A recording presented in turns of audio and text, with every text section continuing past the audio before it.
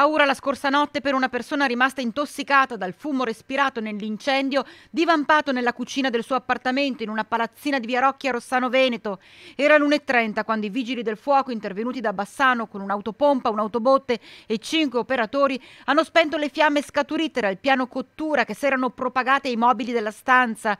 Danni da fumo all'intero appartamento. Il residente, 48 anni, è stato portato al San Bassiano per accertamenti.